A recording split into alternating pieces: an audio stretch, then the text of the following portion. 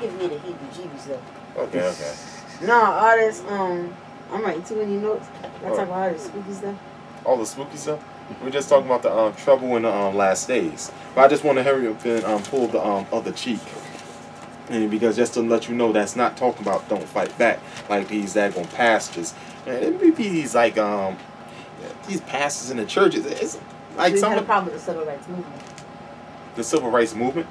That whole thing was a. The thing is this.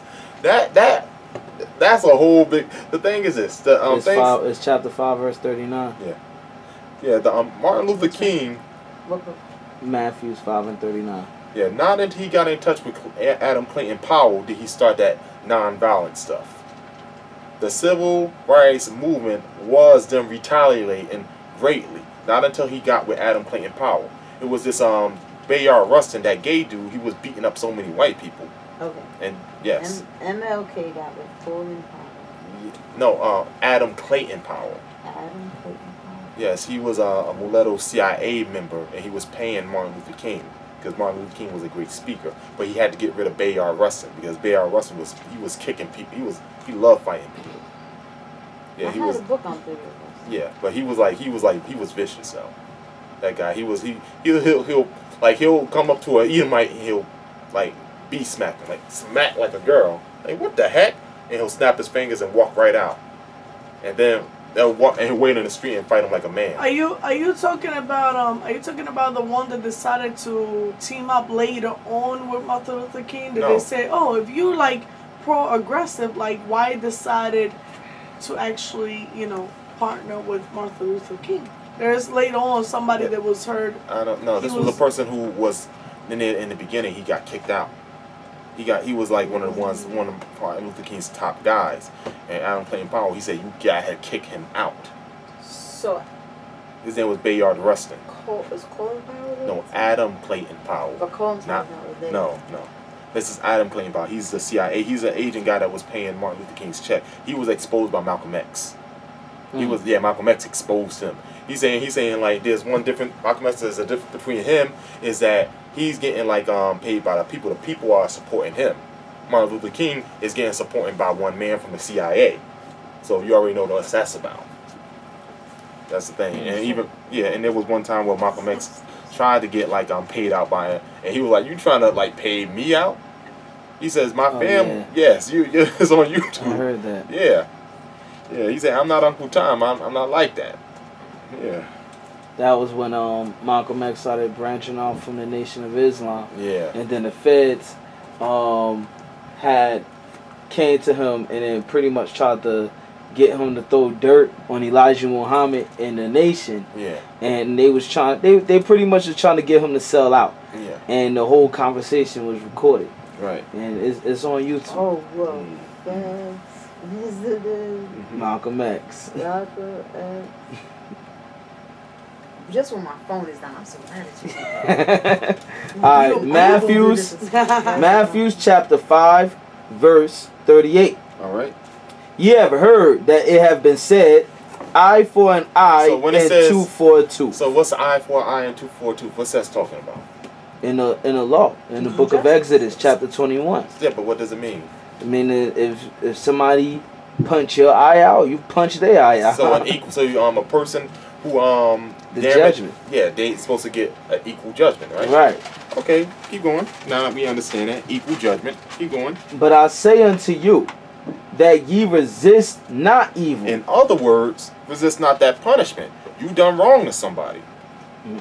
So let's see, instead of getting an equal judgment, keep going. But whosoever shall smite thee on thy right cheek, So in other words, why would somebody smite you on your right cheek? For no reason. so you're don't, it saying, don't say for no reason. you're saying because they're getting punished. yes. So so if they get smitten on their right cheek, Mhm. then they're supposed to turn the other cheek. Yes, because Receive the punishment that you that you deserve. yeah, twice. Because remember when much. Twice it as says much. yes, it, yes, exactly. It says by It's saying, like one for your punishment and one for you to remember. Um, yes, exactly. That's what it's saying. Turn who? That's who But has to turn. whosoever shall smite thee on thy right cheek, Mhm. turn to him the other also. Yeah, that's why it says don't resist the evil. When it's the word evil there means punishment. That's the word when it says. So a person who's supposed to turn the other cheek, is a So person in in says evil. yes, I mean punishment. yes. That's it's translates to evil. It's supposed to be translated to Don't punishment. don't resist the. What does it say? Don't resist the evil. Right above it on thirty nine, it's supposed to say, "Don't resist not the punishment." So you're being punished. You done something wrong, and you deserve to get hit on the cheek. So uh, to show your sincerity, turn the other cheek and accept double. Hmm. Exactly. And it's gonna even prove to you that it's the person in the wrong. Keep going. And if any man will sue thee at the law So why they have to sue you? You done something wrong. Keep going. And take away thy coat, Yes, you done something with his coat or something. So he's suing you and saying, okay, you now owe me your coat now. You ripped up mine. Yeah, you owe me yours. Keep going. let him have thy cloak also. Yeah, here, take the other one too. Show your sincerity. That's what he's talking Oh, about. that's that is true. That is true because the law says that if a man takes a man's sheep, he got to restore four sheep for a sheep. And Exactly. David repeated it, and he's um, Zacchaeus repeated it. Yeah.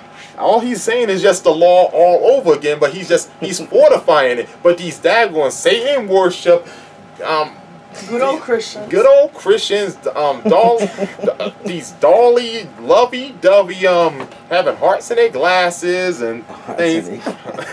yes. And like my niece said, well, maybe the sword really is love. Oh, That's what my poor niece. that's what he's saying. exactly. It's telling you the person who's doing the evil, doing the wrong. Let's say he said something like to you wrong, wrongly, and it was your fault, and things like this. You um, and he smites you on the cheek. Now you're in the wrong, except the other one too. Yeah, take your punishment. Take it like a man, like they say. Yeah. So you take Whoa. it. Yeah. Ex- Now you understand? It's not, it doesn't mean that somebody. No, that's consistent with the law. Like I get it. Exactly. I totally Yeah, but the thing is, Esau and these wick, wicked Christians, these rosy-eyed glasses Christians are all happy and everything. Oh, love, Oh, oh, happy oh, love, love Caucasians and everything. Come, oh, they over there with their daggone shotguns. Hey, make sure you put like a little target sign right there and just put your hands out. Hey. Have any of y'all ever saw the Boondocks episode about the um Mm. the Freedom Bus? Yes, yes. Ain't nobody, nobody gonna turn us around. Alright, Yo. let's continue reading. Yeah, let's go back to um the part of Revelations. I just had to get to turn the other cheek one because that that's the That was very interesting. Very good breakdown. yeah because a lot of these pastors they keep on going that and when I bring that to them they Is like that co- hot uh, air coming uh, out of it? Yeah. Revelation. You still cold? yes My feet are cold. Revelation what? But it's because we're Nine about to and, on um, directly on the floor. twelve Alright. Revel- yeah Revelations nine and twelve Revelations 9 and 12. right One woe is past. so one woe is past so one of the destructions is past And behold, there come two woes more hereafter. exactly keep going And the sixth angel sounded, Mhm. and I heard a voice from the four horns of the golden altar Mhm. which is before Yah, saying to the sixth angel which had the trumpet, Mhm. Loose the four angels which are bound in the great river Euphrates. ah the great river Euphrates so Mm. yeah so it's another demonic entity going on now so it's going back and forth with the spirit world keep going And the four angels were loosed, Mhm. which were prepared for an hour, Mhm. And a day, Mhm. and a month, Mhm. and a year, Mhm. for to slay the third part of men. Mm-hmm. And the number of the army of the horsemen were two hundred thousand. Mm-hmm. Thousand. So really, it's two hundred million. Mm. Yes. And I heard the number of them, Mhm. and thus I saw the horses in the vision, and them that sat on them, Okay. So right here. Oh, keep going. having breastplates of fire, Uh huh. And of jacinth Mm-hmm. and brimstone, Mm-hmm. and the heads of the horses were as the heads of lions. Mhm. Mm. So when it says the heads of lions, so what's going on It's this special type of tank that has this like round head and this large thing pointing out. And this large gun. This la- Look large. like a tank. yes, but it's not like the special one that went done that does like extremely high damage. Mm. Yeah, the Yeah. one that be in the deserts, and you see them in the in the in the training things where they show like if you go to YouTube, they show the trainings, Mhm. and they like they can ride like 80 miles per hour or so, and then you just see like the thing just clocks back like poof. Yeah, and the weird thing is they have the ones that fly now.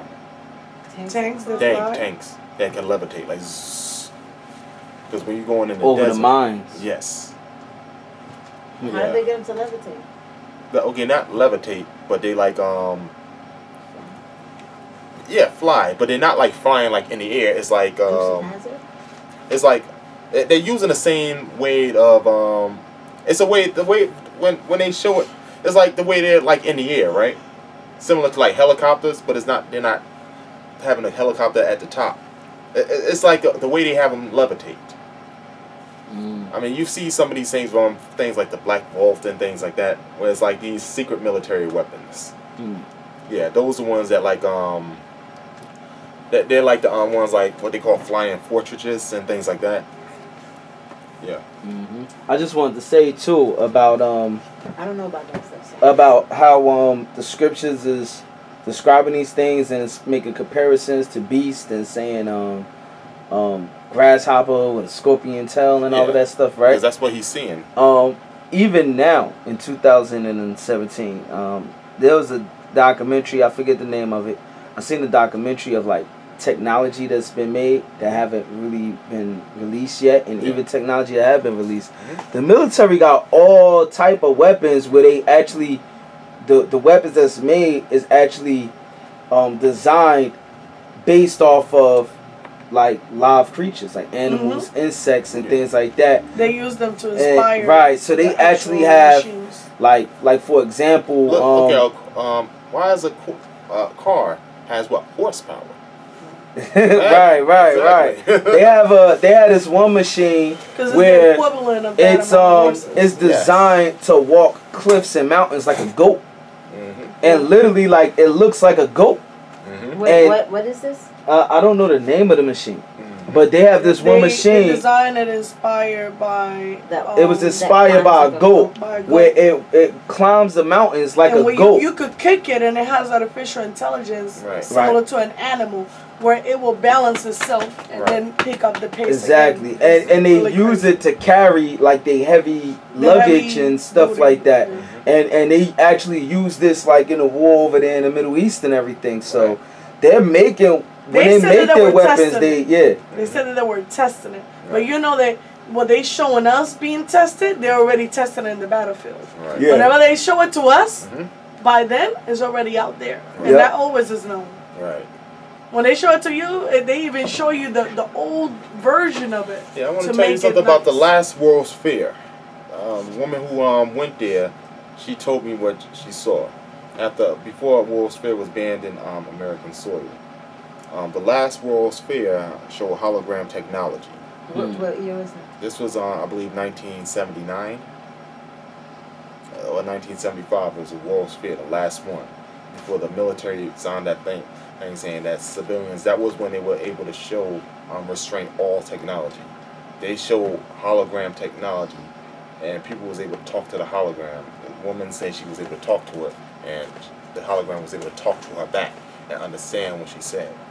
Hmm. This, this what they is had. what? Huh? What was this? Either 1975 or 1979 was the World's Fair And the America. woman testified. Yes, she was actually actually part of Sister McGunner, the late. Oh yeah, Yeah. I, I remember. Yeah, she she was there. She seen it. She know what she saw. She said she saw certain robots and things like that. And these were the things that people who had a ticket to get there. I don't know how much the ticket was. It was like a limited seat. You get a ticket. I think the ticket was five grand or something. It was like um, something where you get there and you couldn't take pictures. That was no thing. They check you and everything like that. And you just went there and you just was able to see what the military had to offer. You was able to see there, ask the people about that. They showed about the um the um things they had ice bullets and all that and like um all type of the the, hol- the thing that I admired myself was the hologram technology. She said that was awesome. So There was a sister from. yeah. Yeah. Um, So Yeah, this she- is similar ex- to the gold robot. Okay, yeah. Let me see. And they carry all of the heavy artillery. Yeah. In the military, they could carry up to one, I think, almost Mhm. a half a ton, Right. Like a half a ton. They could carry about, Right. and a half a ton is actually a lot. right. You know, that's like saying a half of an elevator. Right. What's it called? Um, This one it just says this one is not the one exactly, but the one that we're talking about because this one says um, pet robot, um, dog like a dog simulator pretty much. Mm. But the one that we're talking about is actually like a mule, like a like a like a ass almost like the actually that, the that size was the of one I was. No, this is not it That's not it. because this one is for a dog. Mm. And the one that is is actually connected and is actually like it has like the things for you to put the heavy artillery and everything. Mm. I have a question. Yes. The um. So then, do you think that they're um accessing um, demons again to do like the cloning? Yes. Yes, of course. It's now everything is now with the American military is I mean, spiritual. people, because I know. Yeah, I, I believe that that's what they want to do. They want to clone people. Uh, in my opinion, they said it's better. That was like a um a failed experiment with the cloning thing. That's why they're not talking about that much more. They realize that it's better to just um No, there you go. Yeah, because it, Or robotoids or something. No, no, No, it's not a no robot. the, the clone instead of um because the super soldier super soldier program and cloning are two separate ones. Super soldier program is just you get a bunch of put it um on the screen. no no no, no you, I'm No, automatically gonna no. put on this. Gotcha. Yeah. He has stuff that you're gonna. Yes, huh? No, I was telling him you have stuff that you're gonna put. Yeah. Go on. Yeah. yeah, but the thing is, a super soldier program and cloning is a little different. Cloning Mhm. is like you taking like one of these strong people and you trying to clone them. You start them as a kid, as these strong, strong creatures. But the thing is, they have the exact same thing as this type of thing. So in other words, it's a child who have a 35 year old mind and things like that. Same same way of getting sick and things like that, and he has a very short lifespan. Not good. Why not start something known as a super soldier breeding farm? Get all these um go into these female prisons and get the roughest, toughest looking females and everything. No, no, not no. The ones that the big the big females get strong men and things like that and start with a child. And train them up to be a military super soldier. You have all these big soldiers. It's more easier for them to do that. Just get these um and plus these breeding farms. doing that? Is the question. Yes, yes. I had um, a person had an experience where um, they're doing it because it's like this. They now they before they were like snatching women up um, from prison, li- getting like women who were like um like serial killers and things like that. To go to death row. Yeah. Nobody gonna miss you. Yes. And they said, "Would you like to get um, pregnant for the last time and things like that?" And, and of course they said, "Yes, yes, I'd love to feel the meat again." And, you know, things like that. Yeah, they, they had the, the, the, the things like this. Remember that they funny. yeah, because they're 40 years without no nothing like that. So it's guess what? Uh, she's she's in jail, serial killer, the big big woman. So after she um got pregnant, had the baby, the baby's part of the government now, and she gets put to death. So what they gonna do with the child? Raise him up as now a super soldier. Mm. He's gonna be a big dude. You don't have no. He's gonna be one of the sons of none. Meaning that's the program, son of none. Mm. Yeah, they get it from you know. Son Yeah, of, the- the but it mean, Bible. yeah, but the thing is, it's called son of none, meaning you you're not you don't have no mother no more, and your Mm. father you ain't going you don't need to know who your father is, and that's where they got the uh, whole thing about Altair from um, what was it, the Assassin's Creed Altair, son of none. hmm That was his full name. Mm. It's from the Super Soldier program. What was his name? It was it's a video game called Oh, video. um, the Assassin's Creed. And The guy's name was Altair, son of none. Mm. And that's where the American Super Soldier program came from. The guy who was um, part of the program, he was telling what's going on about these breeding farms. They just don't call them breeding farms. It's called um, that why they're trying to now make their own soldiers. They're saying instead of like getting people to join the American army, why don't you just make an army?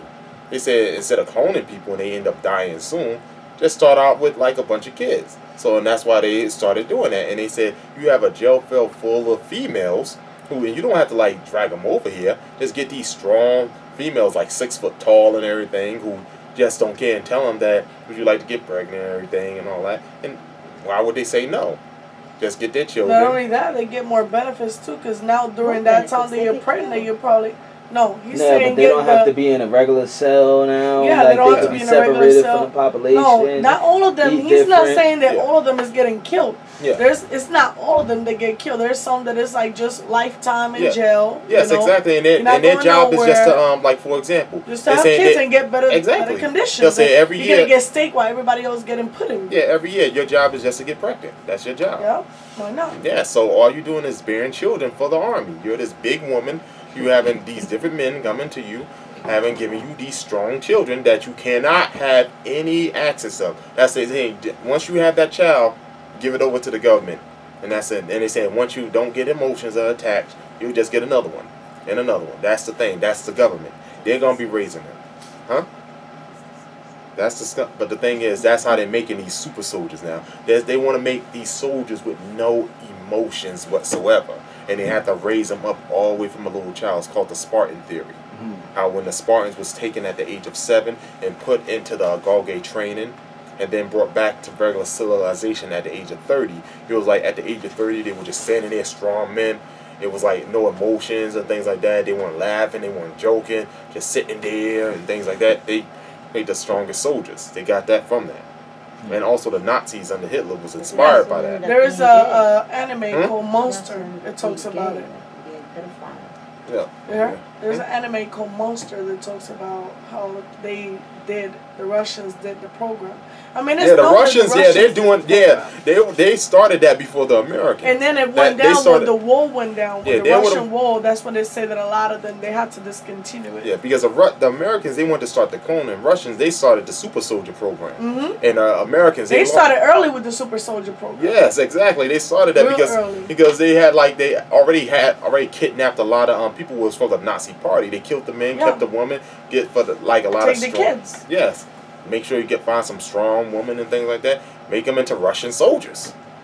That's, That's whenever you get. That's where you get all of this. Like whenever you see a lot of these movies and stuff, and you see. and then they was able know, like, to experiment like, on them. like um, Captain America, he always fighting who? The Russians Yes, and the Germans, because Yes. they're the ones that had all of those programs. that he Yeah, was and- on. the and, the, experiment. and the thing is, one of the experiments was a mind control. MK Ultra started with the Russians also programming. Before computer programming came into effect, it was mind programming under the Yeah. humans. That's where they was um doing that all with the Russians. They were programming. That's where you get movies like Salt and things like that, Yeah. Mhm. where they're able to send people over there to live a other life. And uh, and, uh, and Americans have another form of it called Manchurian candidates and things like that. All, all, all of it's watered down of what the Russians were doing. The Russians they started out early in that Superman thing and that Manchurian uh, candidate thing. So that's the that's the whole thing. Like even like um Putin, like if you ever noticing like um there's times where they said that his brain like cuts off like like for example he's under MK Ultra. He's a Manchurian candidate. That he wasn't part of those programs. He that's why when he started his campaign, yeah, Vladimir Putin. Who's that? He's a um, president of Russia. He's being controlled by the higher ups. That's the thing. That's Oh, the one that is currently right now. Yes, yes. I really think that these super super wealthy people would just let a person, he a regular soldier, that just um do that. He had to. Um, the thing is, Putin. He just always has. He's only five foot seven. Everyone. You said he nods out or something? Yeah, he just he dazes off. He like does this many times. He rarely does. He smiles. I think he just goes into a trance. Daydreams. What Yes. daydreams. Yes, and yeah, and Maybe the, maybe you program yeah, and the weird thing is, it's like it's hard for people to. He daydreams Yeah, yeah, and the thing is, it's hard for people to scare him. Like one time, even like um, Barack Obama got too close, and he like started doing the thing with the shoulders, like you said, mouth like that. like he did, uh, Barack Obama, he did that. There's a picture of him when he was getting close to Putin, and he did this with his shoulders, like like that. And there's a picture of him just standing there, and Putin just looking at him like like that, like that that that that look where he just looking at him, like like like you ain't scare me. Like Barack Obama, he's like yeah, Barack Obama's like six, six foot one, Putin's five foot seven, so he looking up at Barack Obama. Barack Obama looking down, he said, "Bring your forces back," and Putin like, "I ain't bringing nothing back." so, so that's that's how it is. That's what. I mean, a lot of these people, to be honest with you, they're deadly. Like Yeah. the way that they're trained in combat and everything. Mhm. You can't even. You don't need a gun. hmm Verse 17. Yeah. And thus I saw the horses in the vision, hmm and them that sat on them, hmm having breastplates of fire, and of jacinth, Mhm. and brimstone, Mhm. and the heads of the horses were as the heads of lions, Mhm. and out of their mouths issued fire, and smoke, and So brimstone. what happened is the tanks, these these these flying levitating tanks, these jumping tanks, are shooting these brimstone, and when the head of the tanks open up the thing, it makes it know like. Like just like a lion roars, and it swoops up and shoots things right out. Mm. Yes. So pretty much what he's saying that all of this different animals that talks Yeah. about in the book of Revelation is actually war machines. Yes, exactly. But John, he's just seeing animals. Let's go back to Psalms. Um. Psalms 91, verse 5. Uh huh. Thou shalt not be afraid for the terror by night. Okay, the terror by night. Mhm. Like so, as you know, that a lot of um, the American psychic line, right? They they work by contacting devils and things like that, so they can assassinate people by things that are doing at night. Mm. Like that's where, um, like for example, people that's into these, um, what would they call like seeing these fallen angels or what they would call extraterrestrials that they'll nickname them. Mm. Aliens, they always come out at night. Yes, really, they're something interdimensional beings. There's, they're actually like um, what they are are evil spirits. Hmm. And the thing is, they contact, they get in touch with people who are part of the New Age religion. Like people who um, who are contacted by these beings, they don't never talk about their religion. They're part of the New Age. New Agers believe that they are um, being controlled by these ascended masters. So what they do is open portals to the gateways Hmm. and these they send these um things usually at night as a person to abduct them, Mm. and they sometimes what these things usually end up abduct, abducting themselves. Solomon he had good knowledge about these things also. Solomon he knew about um, what was going on with the occult and how the occult was on them.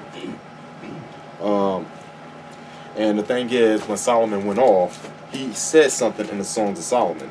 See about um what's what's going on about these. See, the thing is, Proverbs, the book of Proverbs, the way if you want to know how the book of Proverbs was written, when Solomon was getting his wisdom, and um the Songs of Solomon was when he's in his height of his wisdom, and Ecclesiastes when his wisdom is slowly, slowly fading away, Mm. because that's why he starts bashing on women a lot, because the woman were the ones that caused it, mainly the outlandish woman. That's why when he says out of uh, all these women I seen none, yeah, meaning all his wives. That's that's the, no, literally. If you really look at it, he's talking about his wives because he's like viewing it because he's just seeing all they care about is luxury and all his palaces. He said at least of like some of his, the guys, they at least care about something about the scriptures. Hmm. So That's why he said, I found none and one man is righteous. Mhm. So, yeah, Verse 5. Nor for the arrow that flieth by day. yeah, nor for the arrow that flieth by day. Mm-hmm. So when it says the arrow that flieth by day, it's just saying a missile. Right. That's I gotta said. I gotta link up for this one. Yeah. This is second Ezra's. Yeah. Who? I had it in the past. Second Ezra's and I wanna say mm-hmm. Chapter fifteen Right. and verse forty-one. Okay. Second Ezra's chapter 15 verse 41. Mhm. Fire and hell Mhm. and flying swords and many waters that all fields may be full. Fire and hell. Mm-hmm. Fire and hell. And it says the flying swords and many waters. But check out the type of waters it describes. That all fields may be full of full and all rivers with the abundance of great waters, and they shall break down the cities and walls, mountains and hills, trees of the wood and grass of the meadows and their corn. So first off, swords don't fly. Mm-hmm. That's one thing we gotta realize. Swords don't fly. And then second of all, what type of sword brings water with it that breaks down the trees, buildings, It's huh? It's a. It's a metaphor, exactly. And it reads on, verse 43. And they shall go steadfastly unto Babylon mm-hmm. and make her afraid. So now, the ancient Babylon, New York City. ancient Babylon was never hit with a flying sword, but he just said it. New York City. Let's talk about that mystery Babylon, that new spiritual Babylon. And it says, They shall come to her and besiege her. The star in all wrath shall they pour out upon her. Then shall the dust and smoke go up unto heaven, and all they that be about her shall be well her. So now this flying sword is going to bring about destruction Right. to Babylon, where smoke is going to come up from her, as we know in Revelations 18, where it say um the smoke was going to come from that great city.